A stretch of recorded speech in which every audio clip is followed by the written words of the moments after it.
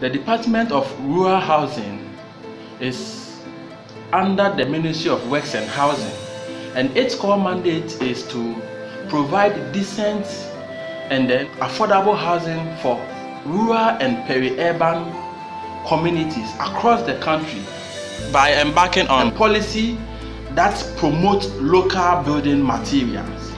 The department organized a two-day uh, workshop that trained artisans and then building contractors as to how they can maximize the opportunity of using local building materials in putting up any form of building across the country. So we show the participants how to use laterite to produce or to mold bricks to construct buildings. Everything about the program from the start to the finish. We show them how to produce the bricks, how to lay them, the format and everything that you need to know. So guys, stay tuned, stay connected and this is a first of a series of episodes that is going to be uploaded on this channel. So make sure you subscribe and keep in touch. So let's get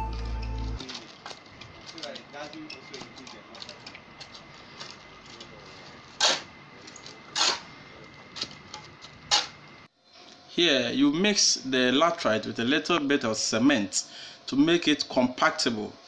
Our chief engineer, Mr. Lawrence, took the participant through the process. Uh, with this bucket, you can either feed in here, mold it, it will bring you the laterite into the mold, after which you use the cover, then you compress it. Or you can, some people to even remove this thing and feed it directly. Mm. Yeah, it's right compressing. Mm. Yeah. So it's this one um, when you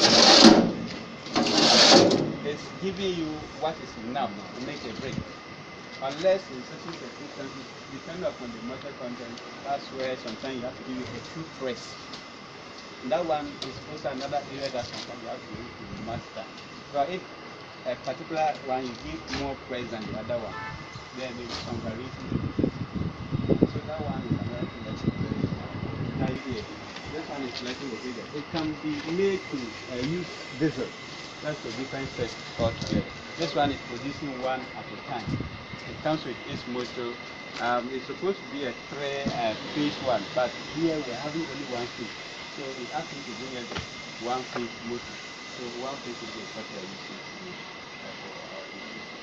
uh, this one here, uh, sometimes uh, the reason becomes a problem, especially when you make it new. Mm. So you have to work it over a period of time before you can get everything uh, working uh, easy for you. So we are going to do a few things. Okay, this one, then do the other this one. Yes, it's locally made. So um, we are going to start. Let's, let's, let's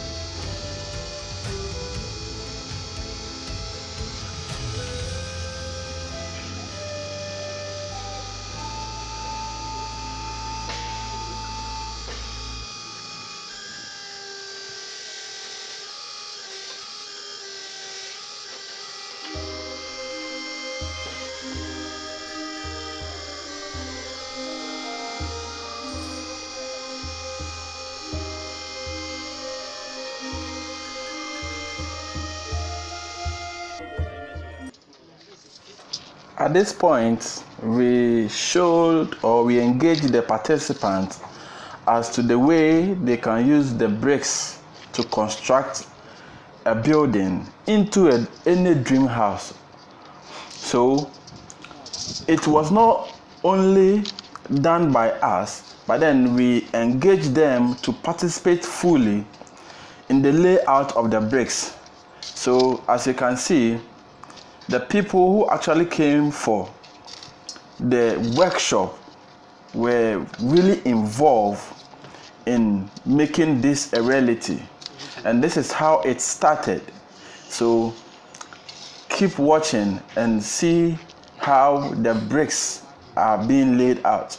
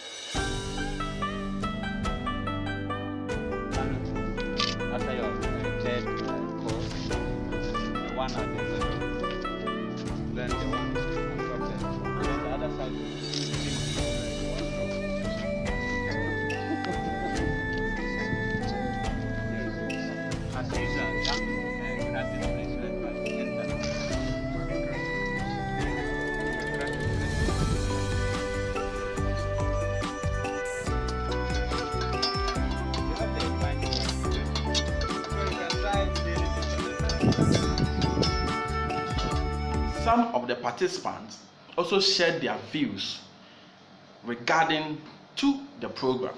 thing is nice, but how to start doing it? If he abɛsra wo ho sɛ wei ayɛ bi wɔ ne fie na ade ade wei ayɛ common no wei ayɛ bi wɔ ne fie ɛyɛ common no then people will start changing their mind. But if the material is not available available common to get it still will be will still get have it at three points. Let's say maybe one set up in Accra, one in the middle, maybe Kumasi, and another one in the northern region somewhere. So we have three depots whereby we can have enough supply of the, you know, the bricks. Then whenever we want or we have a, a client who wants us to put up a structure or a building for him or her, then we we come to the depot. Maybe if you are closer to Accra, then you come to the depot, Accra depot. If you are in the middle of the country, you go to Kumasi. If you are in the northern region, then Tamale or wherever. Then when you come, maybe I have a story building. I do the estimate or the bill of quantity. I know I need maybe 15,000 bricks or maybe 20,000 bricks or 30,000 bricks. Then I know when the moment I hit the Accra depot, I will get my 20,000 bricks without delay. So if in a way the government can help with the bigger machinery instead of us, you know, molding something like 100, you know, 1,000 bricks, uh, you know, it's tedious. It's tedious. Then we know we have that bigger machinery in Accra. When anytime you come to Accra, you get 50,000 bricks on the spot. Then you don't have a problem. Then you just do your estimate, you factor the cost of the brick into it, and then you take it. Overall, the whole project was a success. The whole program was a success. And we at the Department of Rural Housing, we are spearheading this project. And our aim is to see this project known to each and every Ghanaian. And we want to see in few years people start starting to put up structures using these laterite um, bricks and it's it's it's it's has been a project that we are too passionate about. And we have some few projects we've done with this material. Some in the eastern region some in the northern part of the country and i think the volta region and other parts of the country. And we are hoping that we can extend this to all part of the region by, by the end of 2025. So we are, we are putting up structures, especially the cocoa uh, farming projects.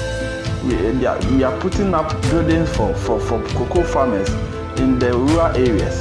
And this is what we want to see that people will come back to what is ours, reducing costs and using our local materials to produce or to put up structures which is cost effective. If if you are watching this video please share and subscribe to the channel for more of these videos